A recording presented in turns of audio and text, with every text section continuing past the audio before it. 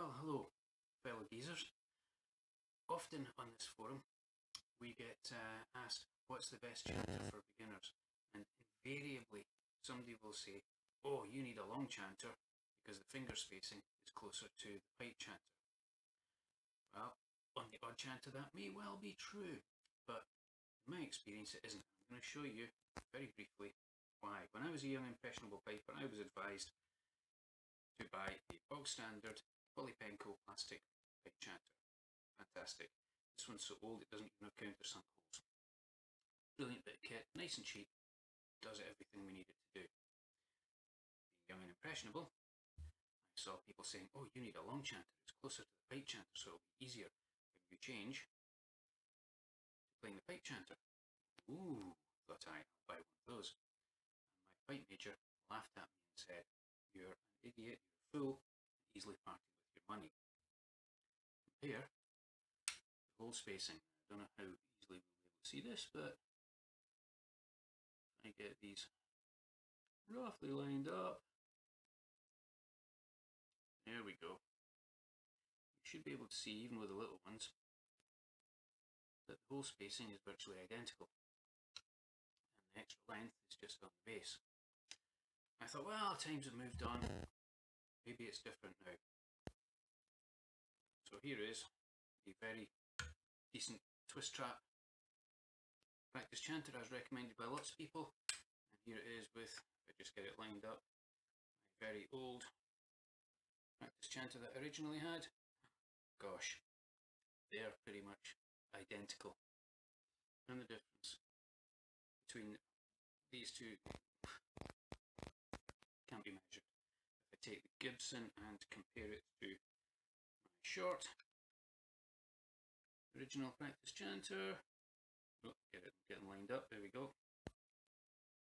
See the difference again is in the end. Nothing in it. So, what um, isn't that grossly different to pipe chanter?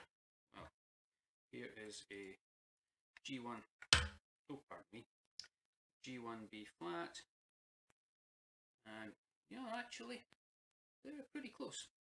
Not bad. Yeah, but that's a B flat.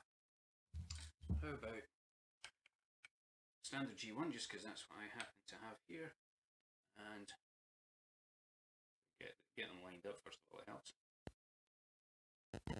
There we go again. They are so close as to make little difference between the practice chanter and the pipe chanter. Oh gosh, well that was news to me. Uh, what about old practice chanters?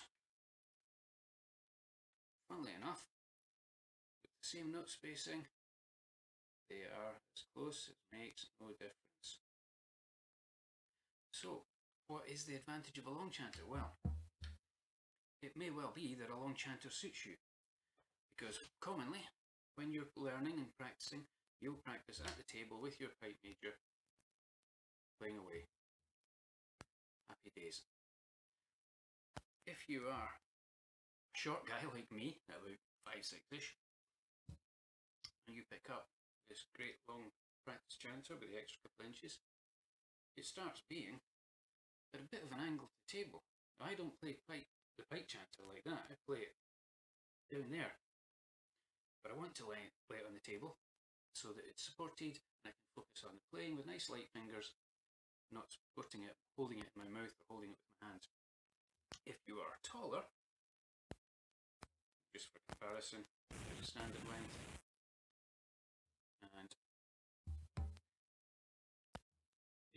long. Obviously I'm too short for a long, which is why when I got a very nice, lovely presentation one made, I got it made in a standard length because that suits my body size. If so, that is the principal advantage of a long chanter. If you're a bit taller, it's easier to hold on the table. You may prefer it. No difference transitioning to the pipes. If you are a big lanky guy who has bought a lot, a short, sorry, a standard chanter, we have the solution. As shown to me by an ancient pipe major. Get a book, put it on the table. Get two if you need to. And then, short one will be long enough. So that's it guys, I just wanted to say do not feel that you need to spend extra money buying a long chanter to make it easier to transition to pipe chanter. In my experience, and I'm happy to be proven wrong, in my experience, makes no difference at all. Any good quality practice chanter will do, and the deciding factor will be the amount of practice that you put in as to how easy it is to transfer. Anyone disagrees, or if anyone thinks I'm absolutely talking rot, feel free to stick it in the comments. Let me know. I'll gladly listen to any evidence to the contrary and any opinions to the contrary. But that's my tuppence worth. When you're buying a chanter, well, I'll probably do another video about what sort of chanter, if people are interested. But when you're buying a chanter, long or short, your body size and your height is a lot more important as to what will suit you than transition to pipe chanter because finger spacing is essentially the same. Thanks very much guys, happy piping and uh, I'll see all you old geezers on the forum.